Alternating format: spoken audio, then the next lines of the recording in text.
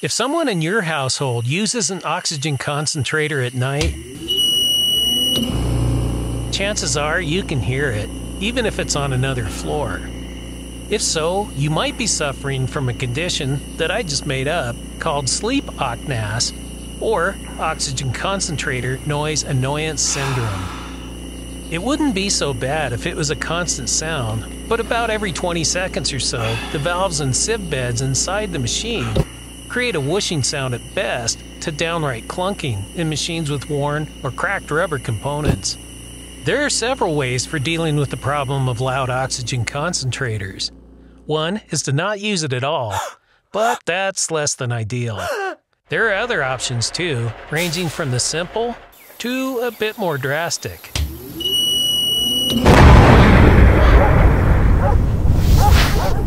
A more practical solution is to make the machine quieter. If you own it, this is easy because you can go inside the cabinet and modify the case and components with sound deadening materials. However, in many cases, the concentrator is the property of a medical equipment provider, and you would likely get in big trouble for tampering with it or altering it in any way. So, if you can't make permanent changes, how on earth are you going to get a good night's sleep? Stay tuned and I'll show you five different solutions for helping to reduce the acoustic cacophony occurring nightly in your home. Using the last three of these methods, I was able to reduce the noise level of this machine by more than 10 decibels. Hi, this is Steve DiMasi, and welcome to Uncharted DIY.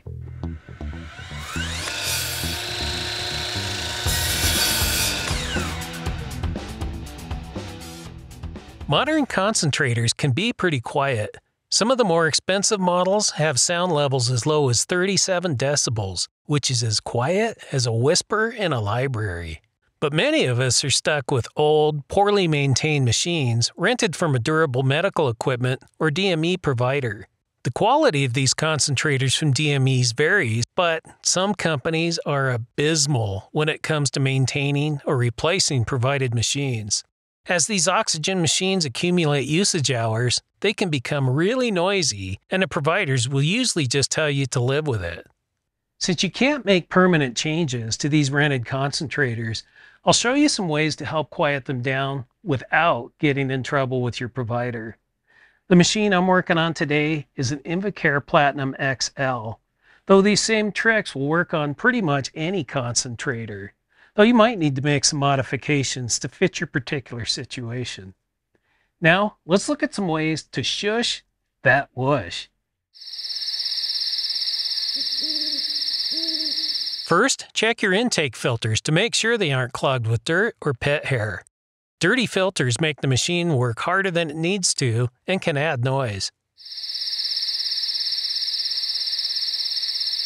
The easiest solution is to move your concentrator as far away from sleeping areas as possible. Longer hoses are readily available, though the general recommendation is nothing longer than 15 meters or 50 feet. Sometimes, though, you can't move it far enough away to not hear it, so more will need to be done to quiet things down. Putting the concentrator in a closet or confined space, or covering it in blankets to muffle the sound might seem like a good idea, but Proper airflow is a big issue. Oxygen concentrators work by removing nitrogen from the air, leaving mostly oxygen. To accomplish this, they need a lot of air. A small space can't provide enough air to keep up with the machine. On top of that, the same air cools the components inside the machine. If you've ever slept with a concentrator in a closed room, you know they produce a large amount of heat that needs to be exhausted from the cabinet. We don't want to make it any hotter. In tip number five, I'll show you a solution for keeping the airflow from being blocked. It might be tempting to push your concentrator into a corner or under a desk to block the sound, but this can actually make it much worse. The sound waves bounce off hard surfaces, so you hear the same sound multiple times, amplifying the noise. If you can, it's best to move it out into the room, away from acoustically reflective surfaces. Now you're only hearing direct noise, not reflected noise. Most of the sound escapes the cabinet through the intake vents and the exhaust vent.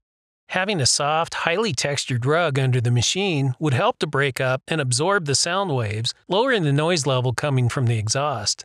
But the tiny caster wheels on this concentrator prevent putting any soft surfaces under the cabinet without impeding the airflow. Changing out the casters for larger ones raises the machine so the air can escape and the sound waves can be diffused and absorbed by that soft, shaggy rug. This simple change made a big improvement in the decibel level and the annoyance factor. I have links to the casters, the fuzzy rug, and other goodies in the description and on my website at uncharteddiy.com. The casters on this unit come out very easily. The new casters had a looser fit, so I wrapped the stems in a bit of tape to prevent the wheels from dropping out of the cabinet. Hold on to the old ones though, so if you have to have the concentrator replaced, you can pop them back in.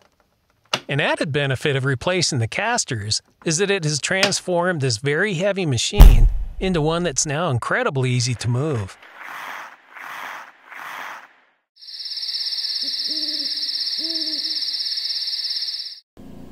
The final trick not only reduces the decibel level of the noise, but it really changes the frequency profile of the noise that escapes from the cabinet. Certain frequencies are perceived as much louder than the decibel measure would indicate, so changing the profile of the sound can make a remarkable reduction in the annoyance factor of the machine. This solution uses thick moving blankets to wrap the machine, thereby reducing the sound that comes through the cabinet. But wait, didn't you just tell me that covering the concentrator is a bad idea because it can block the intake vents? These snorkel air scoops solve that problem. They work like hood scoops on a race car, redirecting ample air for the machine without the side vents being blocked by the blankets. Since there are no exhaust ports anywhere but the bottom of the machine, the blankets don't cause overheating. The exhaust air is coming out the same temperature, whether the machine is wrapped or not. I used inexpensive vinyl gutters lined with acoustic foam to make these scoops, and they take about an hour to build. They attach to the cabinet using Velcro straps, making them completely removable without altering the rented concentrator. If you own the machine, you could attach these directly to the cabinet with Velcro. I'll show you how I made these to fit the Invacare Platinum XL concentrator, but the same method would work for other concentrators, though you might need to make some modifications to the measurements and to the attachment points.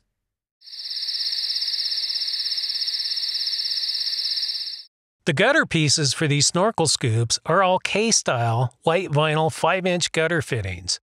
These include two 10-inch pieces of gutter, two outside miter gutter corners, two joiners to attach the gutter to the corner sections, and a set of end caps.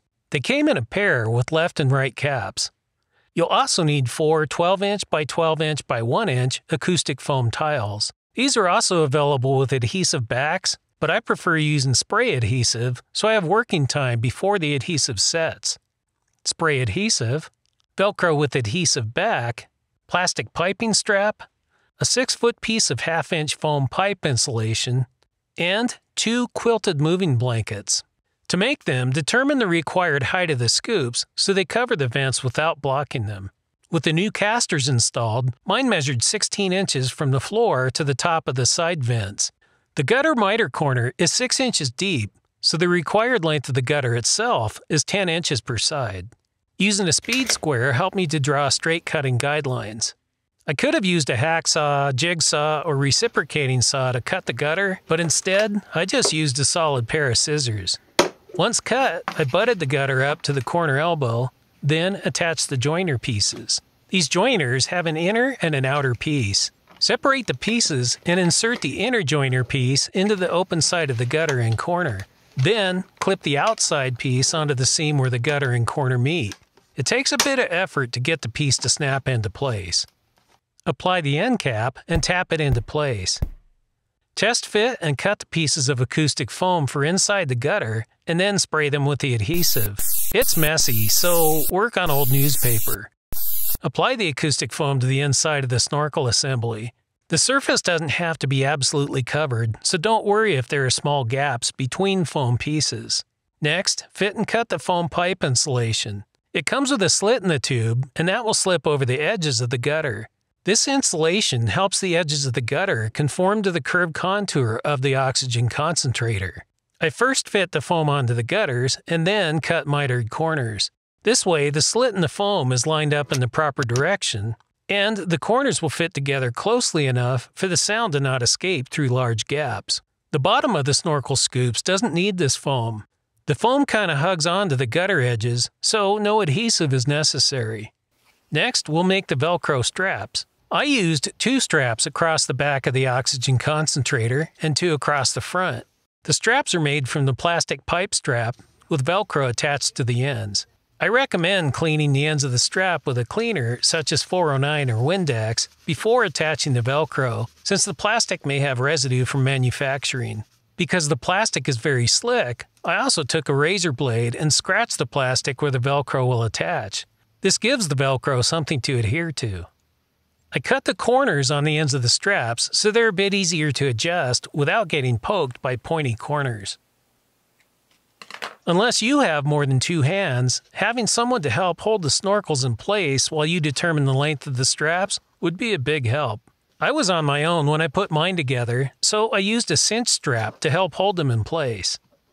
With the snorkel scoops resting on the ground, make the back straps so they fit tightly across the back of the machine.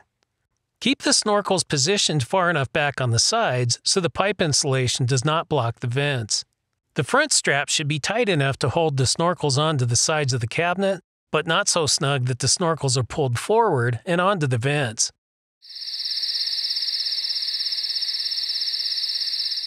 It's a good idea to keep the weight of the blankets from kinking the hose. It's not elegant, but I insert a cardboard box into the handle so it sticks out enough to provide clearance for the hose. I'll come up with a better idea later, but for now, it works great. Finally, you can wrap the concentrator cabinet with the moving blankets, keeping them high enough to not block the air intakes. Two blankets are enough to wrap it well. The front can touch the floor, but the back needs to be above the intakes. A large bulldog clip keeps them in place. The power can still be turned on and off through the blankets. And that wraps it up. Following these steps will make living with an oxygen concentrator in the house tolerable. This is Steve, and thanks for watching Uncharted DIY. Let me know in the comments if one or more of these solutions helps you out. And please make sure to hit that like button so YouTube will share this video with more people. Now, get a great night's sleep.